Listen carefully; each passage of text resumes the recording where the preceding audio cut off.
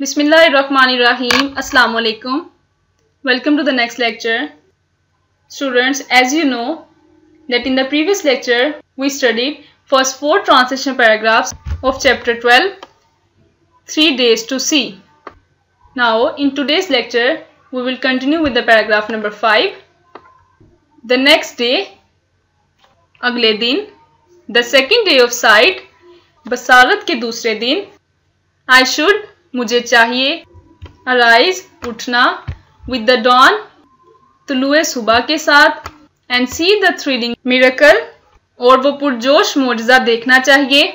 By which nights is transformed जिसमें रात बदलती है इन टू डे दिन में। आई शुड बी होल्ड मैं देखना चाहूँगी।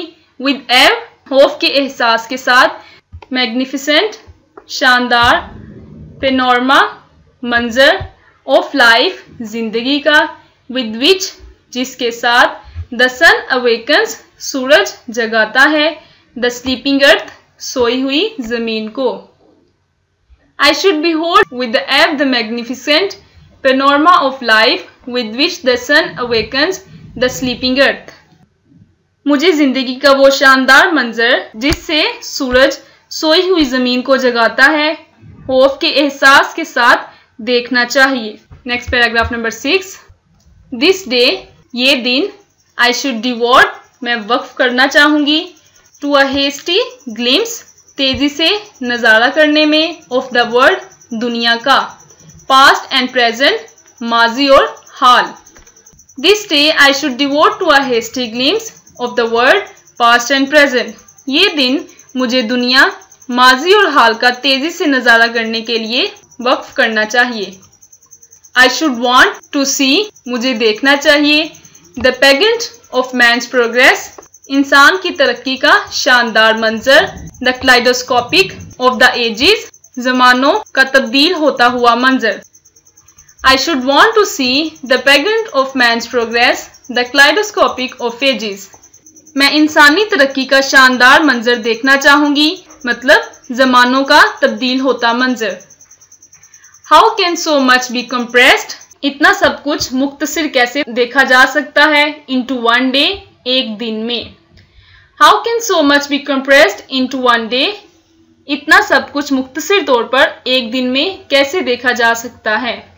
थ्रो द म्यूज़ियम अजायब घर के ज़रिए अफकोर्स यकीनन।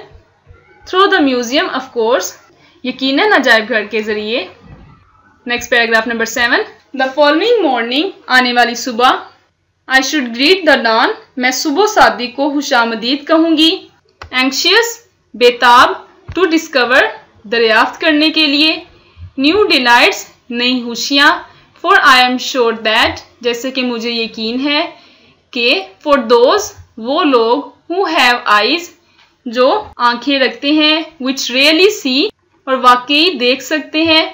The dawn of each day हर दिन की सुबह शादी को must be perfectly new revolution of the beauty उनके लिए हर रोज की सुबह कली के तौर पर हुस्न का नया खुलने वाला राज होगी the following morning I should greet the dawn anxious to discover new delights for I am sure that for those who have eyes which really see, the dawn of each day must be perfectly new revelation of beauty.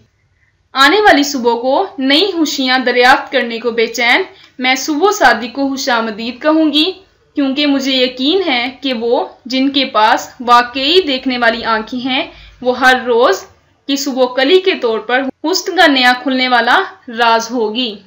This according to the terms ये शराइ के मुताबिक of my miracle मेरे मोजे की is to be my third मेरा तीसरा and last day of sight और बसारत का आखिरी दिन होगा। This according to the terms of my miracle is to be my third and last day of sight ये मेरे मोजे की शराइ के मुताबिक देखने के लिए तीसरा और आखिरी दिन होगा। Next paragraph number eight I shall have no time मेरे पास वक्त ना होगा टू वेस्ट ज़ाया करने के लिए इन रिग्रेट पछतावे में फॉर लॉन्गिंग ख्वाहिशात के there is so much to see देखने के लिए बहुत कुछ है I shall have no time to waste in regret for longing. There is so much to see. ख्वाहिशात के पछतावे पर ज़ाया करने के लिए मेरे पास वक्त ना होगा देखने के लिए बहुत कुछ है द फ़र्स्ट डे पहला दिन आई डिवोटेड मैं वक्त करूँगी टू माई फ्रेंड अपने दोस्तों के लिए एनिमेट्स जानदार एंड इन एनिमेट्स और बेजान अशिया के लिए। The first day I devoted to my friends animate and inanimate पहला दिन, मैंने अपने दोस्तों के लिए, जानदार और बेजान अशिया के लिए वक्फ किया। The second day reveal to me दूसरे दिन मुझ पर बेनकाब होगी। द हिस्ट्री ऑफ़ मैन इंसानी तारीख एंड नेचर और फितरत।